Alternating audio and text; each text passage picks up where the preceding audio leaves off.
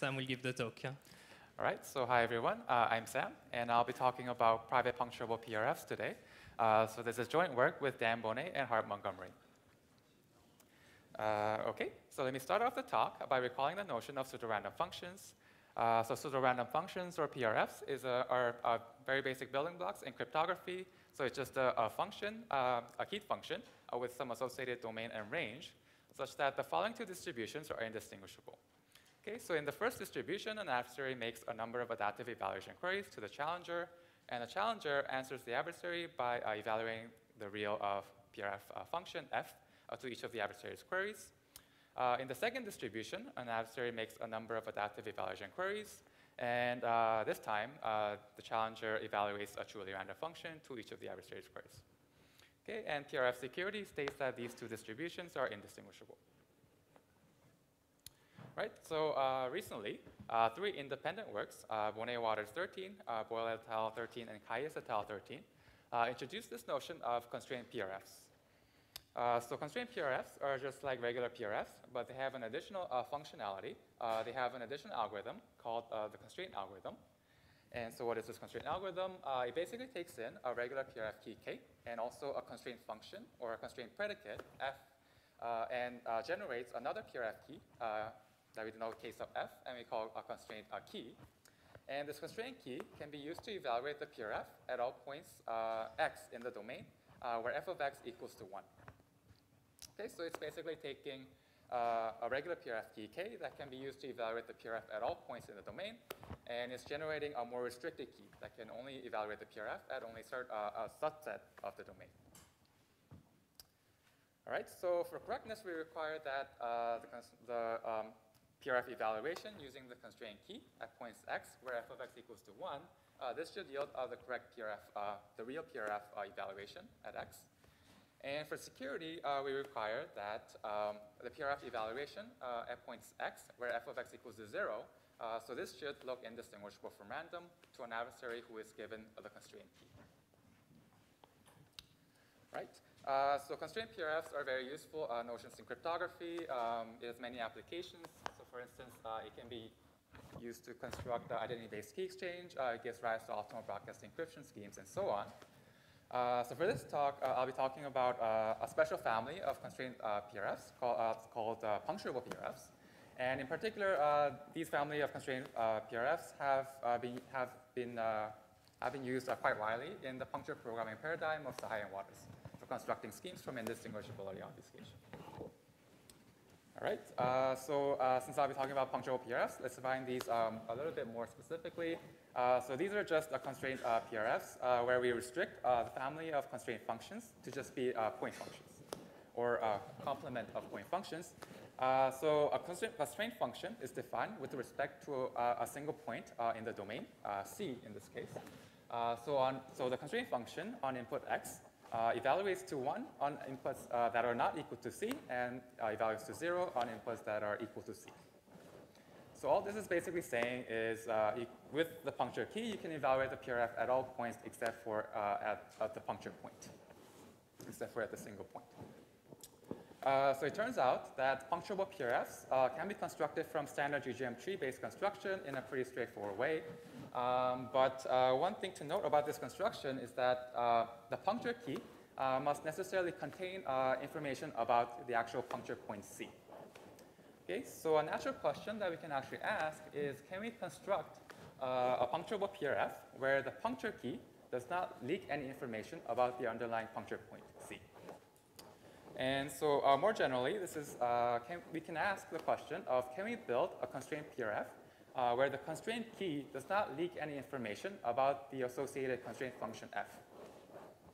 Okay, and this is the question that, uh, that Boneh et al. asked uh, recently. And so how do we actually formalize this notion? Uh, so it's pretty simple, right? So uh, we can define it in terms of security game where an adversary first commits uh, to a pair of functions, f0 and f1. These are constraint functions. And in the first, secure, in the first game, the challenger uh, generates a constraint function, uh, constraint key, with respect to uh, the function f0. And in the second uh, game, the challenger um, generates a constraint key with respect to uh, the function f, f1. Okay, and uh, privacy requirement states that these two distributions should, should be indistinguishable. All right, uh, so uh, for this talk, uh, I'll be focusing mainly on uh, private puncturable PRFs.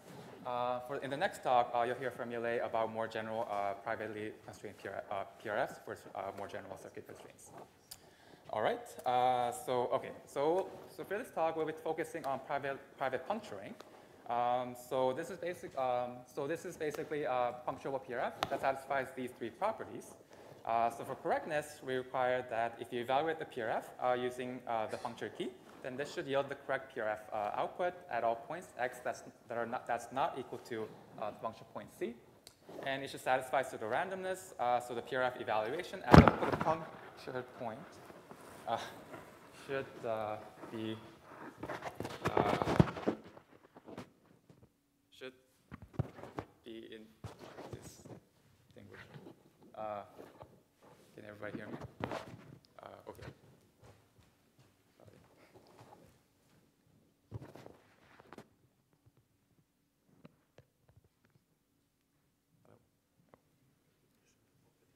Oh, okay. Sorry about that. okay, so uh, for pseudo randomness, we require that uh, PRF evaluation at the puncture point should look indistinguishable from random to an adversary who is given the puncture, puncture key. And for privacy, Sorry. Uh, oh.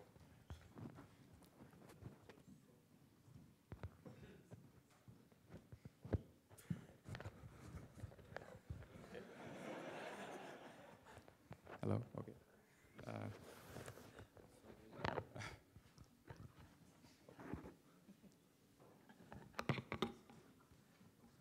okay. Uh, yeah. So for privacy, we require that uh, the puncture uh, key to, to not leak any information about the puncture point C. All right. Um, so what does this privacy uh, give us? So why is this an interesting notion? Uh, so there are a number of applications. Uh, so many of them are highlighted in the original paper, uh, the, BLW paper that introduced the notion. Uh, so for this talk, um, I'll just talk about one particular application. Uh, and this is for, this is application to, um, to private keyword search in a distributed database. So one way of viewing uh, private puncturable PRFs is uh, as an advanced form of distributed uh, point functions. Okay, so distributed point functions, or uh, DPFs, uh, is a notion that was introduced by Gilboa and Ishai in 2014. And the idea is the following, right? So you start off uh, with a point function, p sub c, okay? And we basically secret share this function into two distributed point functions, f0 and f1. So let me put a tilde there, just to distinguish it from the PRF. And uh, these two functions uh, have the property that if you evaluate each of these functions uh, separately uh, on an input x and basically sum up the result together, then you should basically get a point function. Okay, so, you, so on input x, that is equal to c. Uh, if you sum them up, then you should get a non-zero value. And if you, uh, for inputs that are not equal to c, if you sum them up, then you should basically get zero. Right, so you can actually instantiate distributed point functions using private puncturing, uh, by defining the first function to just be the regular PRF evaluation function using the regular PRF key k. And you just define the second function to be uh, the PRF evaluation using the puncture key. Okay, and by uh, PRF, uh, by, by uh, correctness of our construction, um, if you evaluate uh, the first and the second function separately and just, and I guess in this case, subtract the result, then you should get a non-zero value for inputs x that are equal to c and it should get zero for inputs that are not equal to C. Oh, and I forgot to mention the, the security requirement. that uh, the security requirement for distributed point functions is that uh, for an adversary who is given only one of the two functions, uh, then the adversary should not learn any information about the underlying point C.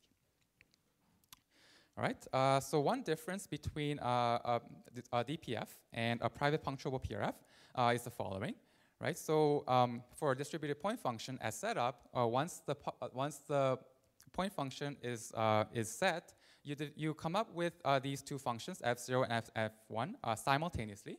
So you have to generate them uh, together.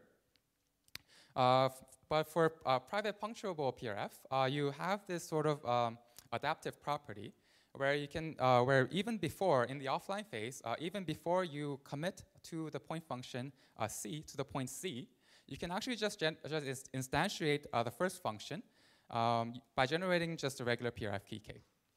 Okay, and at a later point in time, once you decide on the point C, uh, then you can actually instantiate the second function uh, by generating the, the punctured key.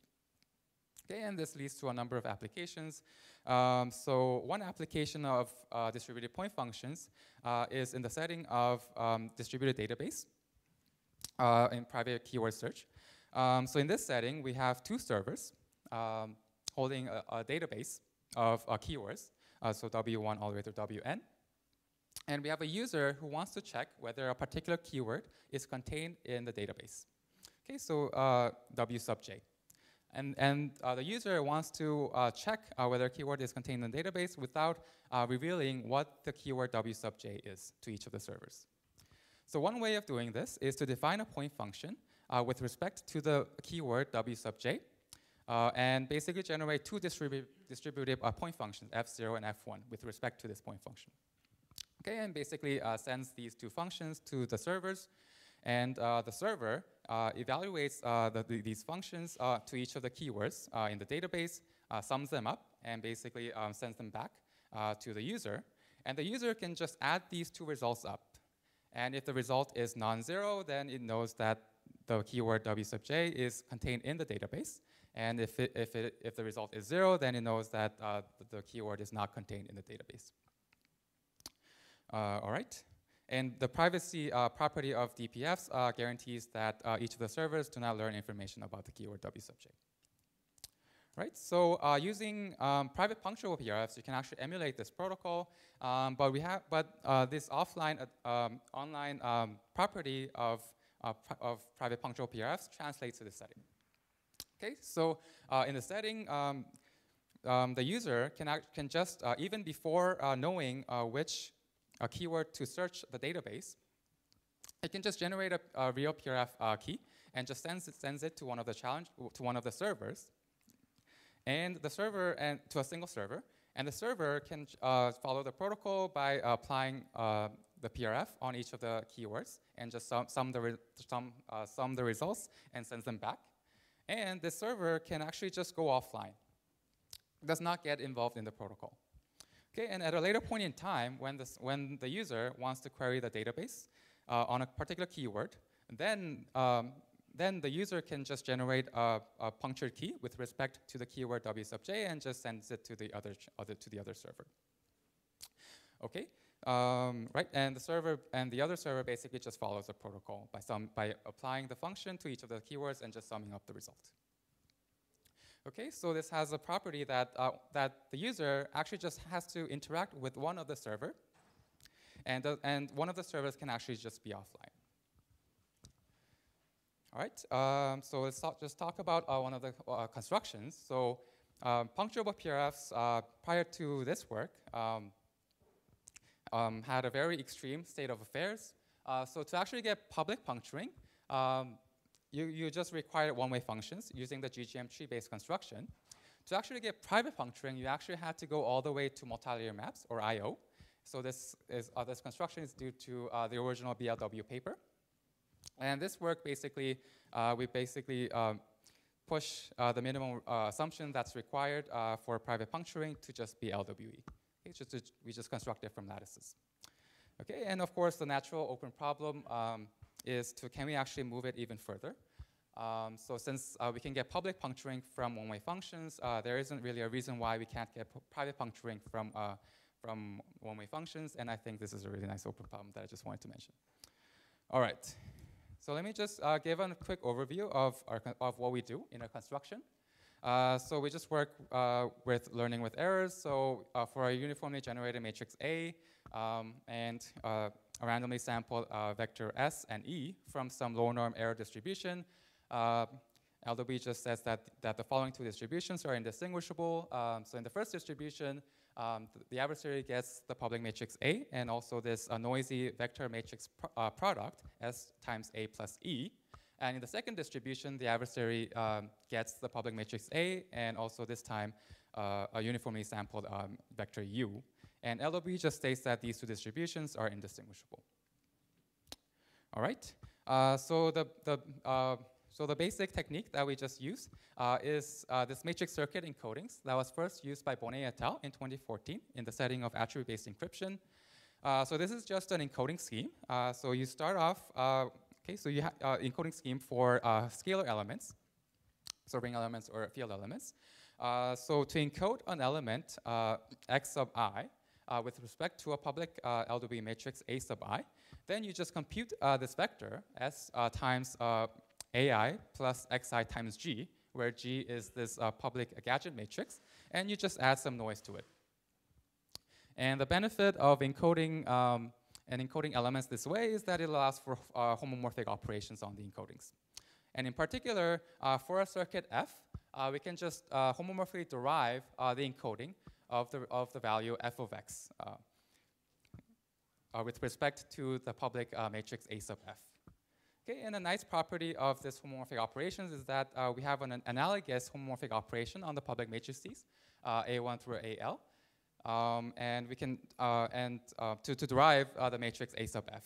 Okay, and this public matrix homomorphic operation does not require any information about the underlying encoded values or the encodings.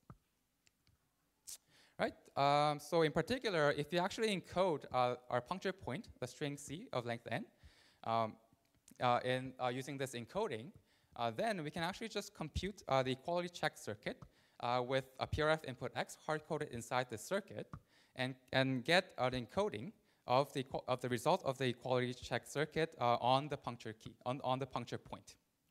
Okay, in particular, this uh, equality check circuit uh, will output zero if uh, x and c are different, and it will evaluate to one if x and c are equal.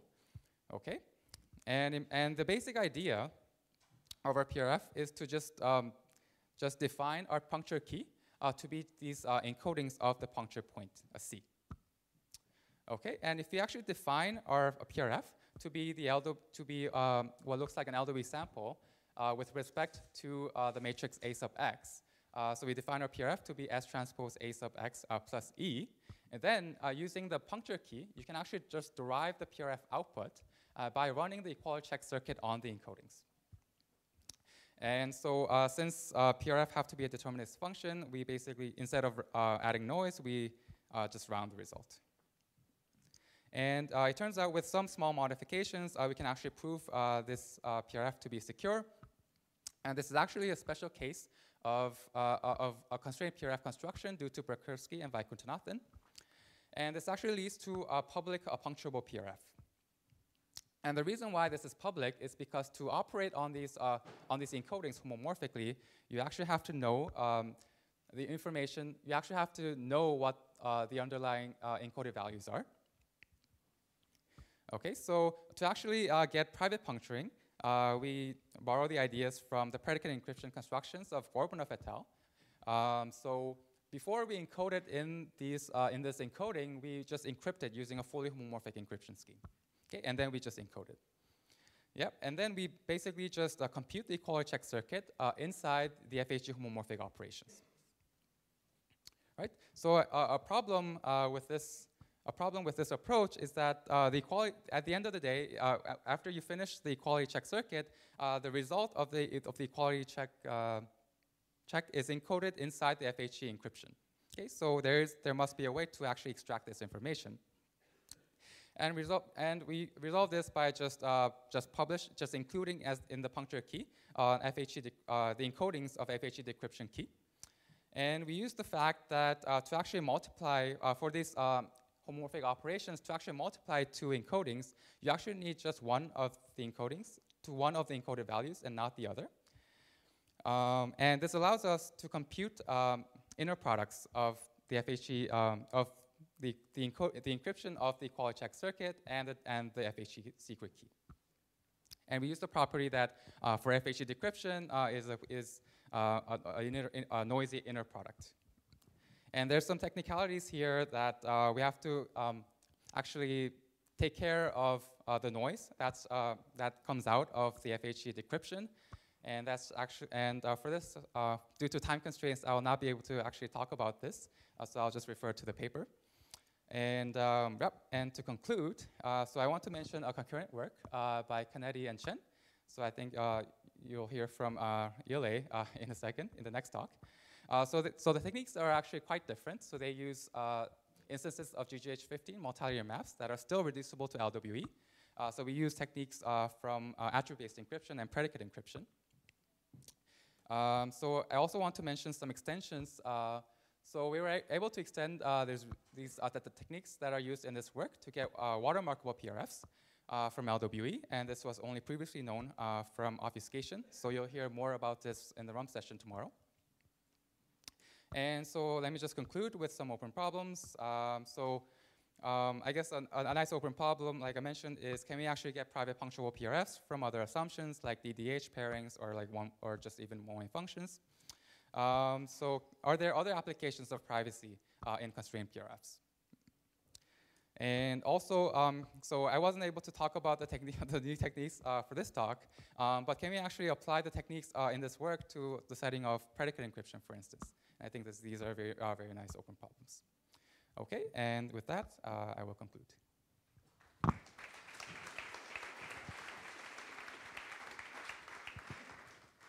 Okay, so are there any questions?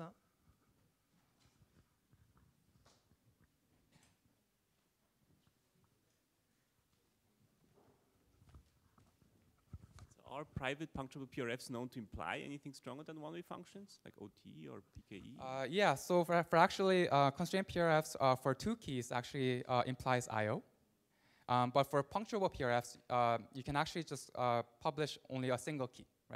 So if you actually publish two, two puncture keys, then you can evaluate the PRF on all points. So you can't actually have a, a, a well-defined notion of security in that notion. So does that answer your? No, the question is if the existence of private puncturable PRFs is known to imply anything beyond one-way functions. Oh, oh, uh, no, I don't think uh, it's not known. Yeah.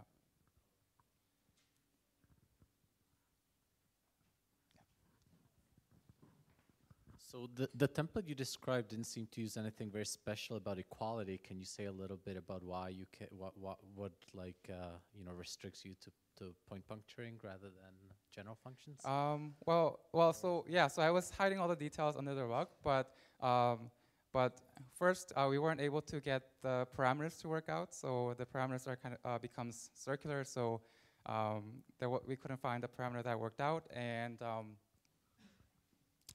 and and um, so to actually get, uh, and we, we thought it was quite, uh, so since we can't, we can only publish a single key anyway, so we thought uh, uh actually private puncturing is actually uh, more natural. So um, yeah. All right, I hope that answers your question.